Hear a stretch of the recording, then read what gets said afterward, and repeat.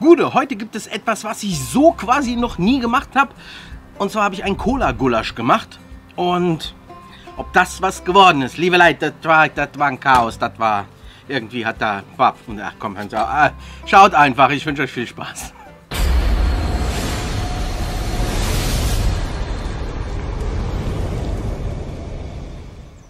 Also irgendwie habe ich das Gefühl, dass Gulasch nicht so wirklich auf dem Speiseplan der Leute steht. Also zumindest habe ich so die, den Eindruck, dass es nicht so den Anklang findet. Also ich weiß nicht, wann ich das letzte Mal ein Gulasch gegessen habe. Also das ist schon ein paar Jährchen her. Also habe ich mir gedacht, wir machen heute mal ein Gulasch und zwar kein ganz normales Gulasch. Nein, wir machen ein Cola-Gulasch. Und dazu brauchen wir erstmal ein paar Zwiebeln. Und zwar habe ich hier zwei große rote Zwiebeln. Wie soll es auch anders sein? Aber wenn ihr natürlich nur weiße Zwiebeln da habt, könnt ihr natürlich auch die nehmen. Ist gar kein Problem. Und die genaue Zutatenliste, liebe Leute, ihr wisst es ganz genau. Die gibt es am Ende vom Video. Und ja, ich weiß, ich nerv euch damit, aber es gibt immer wieder Leute, die verirren sich neu auf meinem Kanal und die sind noch keine Abonnenten. Deswegen, liebe Leute, wenn euch gefällt, was ihr hier seht und ihr seid neu auf dem Kanal, würde ich mich tierisch über ein Abonnement freuen, einen Daumen nach oben, einen lieben netten Kommentar und vielleicht drückt ihr auch noch die Glocke. Und für alle anderen, ihr seid die beste Community der Welt, auch ihr könnt natürlich einen lieben netten Kommentar hinterlassen. Ich freue mich natürlich über euch alle. Aber ich möchte mich nicht zu früh freuen, denn das Cola-Gulasch ist noch nicht fertig, denn wir müssen jetzt erst nochmal zwei Knoblauchzehen klein hacken.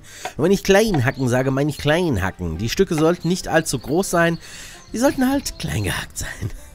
So wie ich das hier mache, das reicht dann vollkommen aus. Wer mag, kann natürlich auch das Ganze durch eine Knoblauchpresse jagen, aber dann läuft da tatsächlich Gefahr, dass euch das Gulasch zu knoblauchlastig werden könnte. Den Knoblauch gebe ich jetzt zu den Zwiebeln dazu. Und das kann jetzt erstmal da wohnen. Jetzt putze ich den Tisch so wie immer und dann brauchen wir Lauch. Hier habe ich einen schönen Lauch. Das Grün entferne ich. Das brauche ich nicht. Das kommt auf den Kompost. Und ich werde jetzt die äußere Schale dann entfernen. Denn unten drunter befindet sich meist noch Erde.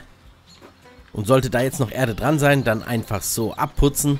Ich meine, ihr könnt es auch dran lassen, dran sterben werdet ihr nicht. Ich muss mich da immer dran erinnern, quasi als wir Kinder waren, haben wir immer hier so Burgen gebaut und so Sandkuchen. Ja, das hat auch geknirscht beim Kauen. Ja, aber egal. Wir schweifen wieder ab. Äh, der Lauch wird jetzt runtergeschnitten, einfach so grob runterschneiden. Schaut, dass die Scheiben nicht allzu dick sind. Und dann hole ich jetzt noch eine Schüssel hoch, denn der Lauch darf auch erstmal in einer wunderschönen glänzenden Schüssel wohnen. Mit dem ganzen Geschnippel von dem Gemies sind wir jetzt dasch. Das heißt, wir können jetzt gleich zum Grill watscheln. Den habe ich schon mal angezündet, der kann jetzt vorglühen. so wie früher, bevor wir abends fortgegangen sind. Da haben wir auch vorgeglüht. Die Temperatur im Grill sollte ungefähr 180 Grad betragen. Jetzt habe ich den Gusstopf in den Grill gestellt, gebe ein bisschen Olivenöl hinein und lasse das Ganze ein bisschen erhitzen. Wer es klassisch machen mag, kann natürlich oben unten Kohlen hingeben. Wer also so einen Tisch hat oder gerne in der Hocke arbeitet, kann das gerne machen. Ich mache das nicht. Ich habe hier Rindergulasch aus der Keule. Das werde ich jetzt so ein klein wenig anbraten. Ich liebe dieses Sisseln, Brisseln Geräusch. Das ist, ich mag das. Das ist, das ist richtig gut. Gefällt mir. Dann mache ich jetzt den Deckel zu und lasse das Ganze ein bisschen vor sich hin schmoren, bevor ich die Zwiebeln dazu gebe. Natürlich geht das jetzt alles ein bisschen schneller. Das ist jetzt keine Echtzeit, ne? Nicht, dass jetzt einige denken. Die Zwiebeln und der Knoblauch kommen jetzt dazu und werden quasi mitgeschmort. Natürlich wird das Ganze jetzt vorher erstmal umgerührt. Und liebe Leute, das riecht jetzt schon ziemlich gut und es ist ja eigentlich noch nichts passiert. Großartig, großartig, großartig. Dann geben wir jetzt noch quasi den Lauch dazu. Der wird nämlich mitgeschmort. Ach, großartig. Allein jetzt schon, wenn man das jetzt schon irgendwie na, so auf so ein Brot, ne, mit einem Salat und einer schönen Barbecue-Soße drüber, könnte man es eigentlich so schon servieren. Rapante, rapante. Aber wir machen das nicht. Wir geben jetzt erstmal noch ein bisschen Tomatenmark hinzu. Tomatenmark ist großartig. Tomatenmark, das ist purer Geschmack. Das gibt Tinte auf dem Füller, Tomatenmark ist wirklich großartig. Das ist konzentriert, das ist mega gut. Und jetzt sind wir eigentlich mit unseren festen Komponenten durch. Jetzt, kommt, jetzt kommen die flüssigen Zutaten. Und natürlich habe ich Rotwein dabei. Den kippe ich da jetzt rein. So einen guten Schluck. Dann ist die Flasche auch schon leer. Wenn ihr euch fragt, was mit dem Rest passiert ist vorher, ja, das erzähle ich ein andermal. Jetzt verrühren wir das Ganze noch ein bisschen. Und dann geben wir noch einen halben Liter Cola hinzu. Welche Cola ihr nehmt, ist prinzipiell eigentlich völlig wascht, aber ich sag's jetzt mal, dass äh, die mit dem roten Etikett, es schmeckt leider etwas, es schmeckt halt besser. Es schmeckt halt besser als die anderen. Ich kann es halt nicht anders sagen. Und das ist jetzt keine Werbung für die Cola mit dem roten Etikett. Nein, ist es nicht. Wir verrühren das Ganze jetzt noch einmal und dann geben wir noch ein paar Gewürze hinzu. Ich habe hier Salz, Oregano, Chili-Pulver, Pfeffer. Und das geben wir jetzt alles zu dem Gulasch hinzu. Und wer es bei dem Namen noch nicht erkannt hat und sich jetzt fragt, liebe Leid, was macht der denn da? Das ist doch gar kein Gulasch. Richtig, das ist kein klassisches Gulasch, das ist, ähm, Spezial. Das ist Spezialgulasch. Das ist Cola Spezialgulasch.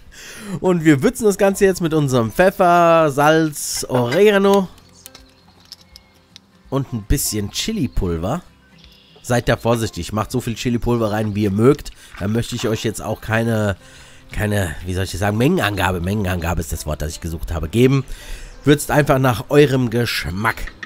Und dann kommt jetzt noch der Deckel drauf und dann wird das Ganze ungefähr bei 140 Grad geköchelt und das Ganze dauert ungefähr eine bis anderthalb Stunden.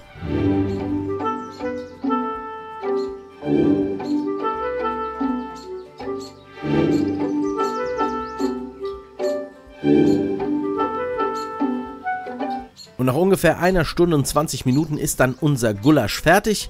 Ich habe die Temperatur vom Grill schon mal runtergeregelt, damit es uns nicht quasi komplett wegkocht. Und hier habe ich jetzt ein bisschen Petersilie und die werde ich jetzt klein hacken. Wer mich kennt, weiß, ich liebe Petersilie. Petersilie ist das beste Kraut, das es gibt auf der Welt. Das macht einfach jedes Essen besser. An der Seite habe ich schon ein bisschen Brot vorbereitet, wie ihr seht. Wenn ihr aber mögt, könnt ihr natürlich schon mal Kartoffeln kochen oder Nudeln, wie auch immer, was ihr halt am liebsten zu einem Gulasch esst. Jetzt nehme ich den Topf runter. Nehme den Deckel ab. Und dann verrühre ich das Ganze nochmal. Ja, das sieht großartig aus. Ihr seht, das Fleisch ist schon richtig mürbe geworden. Und ja, das ist richtig, richtig, richtig großartig. Dann kommt die Petersilie drüber. Und wenn ihr Bock habt, könnt ihr mal zählen, wie oft ich in diesem Video großartig gesagt habe. Jetzt gebe ich noch das Brot hinzu und dann sind wir mit unserem Cola-Gulasch auch schon fertig. Und liebe Leute, ich bin mir fast sicher, ihr möchtet dieses Cola-Gulasch gerne mal nachmachen. Und damit ihr das könnt, braucht ihr folgende Zutaten. Ihr braucht Rindergulasch, Zwiebeln, Knoblauch, Lauch, Cola, Rotwein, Tomatenmark, getrockneten Oregano, Petersilie, Olivenöl, Chilipulver, Salz und Pfeffer. Und was soll ich sagen, liebe Leute? Nicht abschalten, ganz wichtig, denn jetzt wird probiert. Hier habe ich jetzt das Cola-Gulasch und ich werde es natürlich probieren, denn äh, man muss ja gucken, was man da fabriziert hat. Ich nehme hier so ein Stück Brot. Ich denke, Kartoffeln und Nudeln werden auch super dazu passen, aber schauen wir erstmal. Haha. Er heiß? Ja, es kommt aus dem Topf. Klar ist er heiß. Ja, ich gucke jetzt mal, ob das was kann. Ich bin mir gar nicht so sicher, ob das, ob das gut ist, ich weiß nicht, ich weiß nicht, aber wir schauen mal. Hm. Oh. Das ist gut. Das ist richtig gut. Das hat mit einem klassischen Gulasch gar nichts zu tun. So überhaupt nicht. Aber es ist mal eine andere Variante und diese Wespen, die machen mich wahnsinnig. Es ist eine andere Variante und es ist ziemlich cool. Es ist relativ süßlich durch die Cola. Und es ist ein mega Herbstrezept. Mega gut. Auch wenn die Sonne gerade scheint wie blöde. Aber wir haben tatsächlich jetzt schon, ich weiß gar nicht, was haben wir? Freya, was haben wir? Wir haben irgendwas äh, fast äh, schon Ende September. Und die Sonne scheint. Sehr gut. Großartig. Solltet ihr mal nachmachen, liebe Leute? Was soll ich jetzt noch sagen? Wenn euch das Video gefallen hat, gebt mir einen Daumen nach oben, abonniert meinen Kanal, erzählt es weiter. In diesem Sinne, guten Appetit und tschüss, bis dann.